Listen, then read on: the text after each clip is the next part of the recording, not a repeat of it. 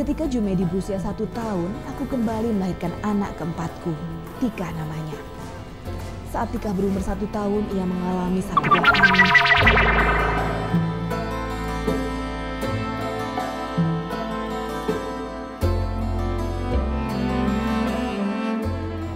Meski bertepuk sebelah tangan, tapi tampaknya tidak menyurutkan niat Suhada untuk meminangku. Assalamualaikum. Waalaikumsalam.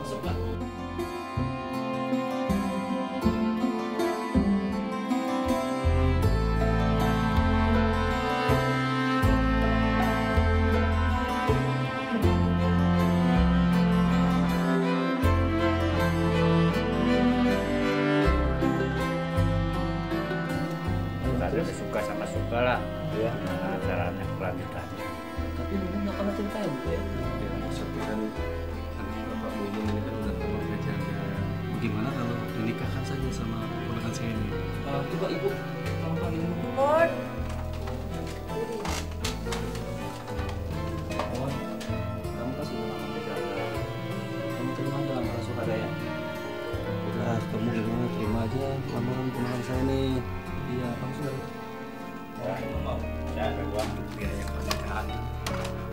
Dan semuanya menjadi nyata ketika orang tua Suhada memberikan sejumlah uang kepada keluargaku untuk biaya pernikahanku dengan Suhada.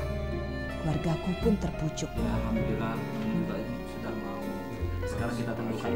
senang saya tuhnya katanya si terus minta itu terus minta mau ngasih uang yang ini masih ngasih uang ditumpahin uang di sini buat buat nikah anak kamu katanya. Dengan terpaksa akhirnya aku harus menikah dengan Suhada. Lagi-lagi aku harus hidup bersama orang yang tidak aku cintai. iya akhirnya nikah. Kasihan itu kasihannya.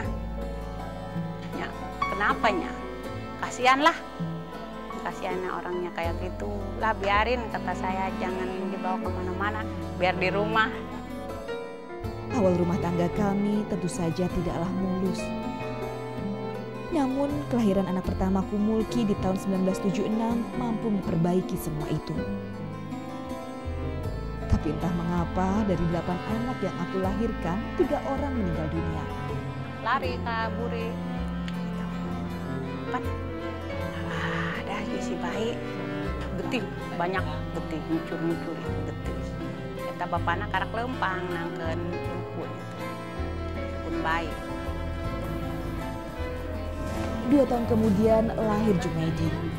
Ketika Jumaidi berusia satu tahun, aku kembali melahirkan anak keempatku, Tika namanya. Saat Tika berumur satu tahun, ia mengalami sakit yang aneh. Semakin hari perutnya semakin membesar.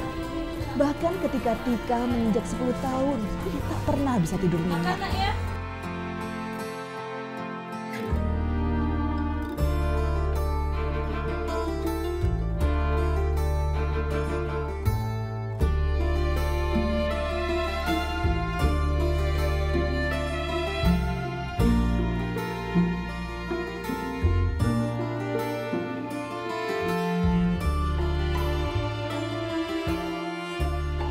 Bulanan bulanan tuh lagi hamil saya i- tidur tidur. Sedang yang ini tidur. Ini kata saya nih batur mah orang-orang yang sehat yang mati saya kamu mah udah kayak gini sama yang kesel. Hampir putus asa aku mengurusnya. Sempat terbesit di benakku kalau lebih baik ia meninggal daripada harus hidup menderita seperti ini. Mak udah punya biaya, udah habis uang Mak. Mak ikhlas kalau kamu meninggal nih Nak. Dan semua terjawab ketika malam itu Tika menghembuskan nafas terakhirnya dalam pangkuanku. Tika,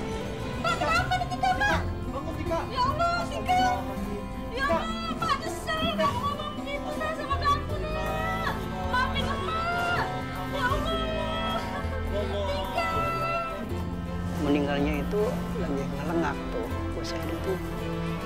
Di dalam rumah udah aja digini.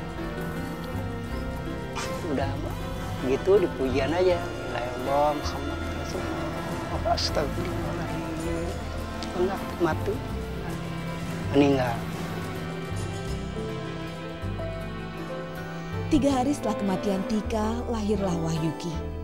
Meskipun beberapa kali anakku meninggal di usia dini, namun aku tak pernah kapok melahirkan.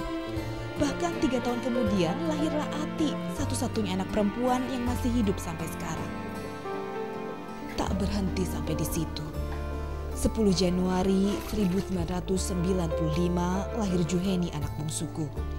Awalnya ia normal, namun saat usia Juheni 8 bulan, ia mulai menunjukkan gejala yang sama seperti penyakit yang telah membuat aku kehilangan Tika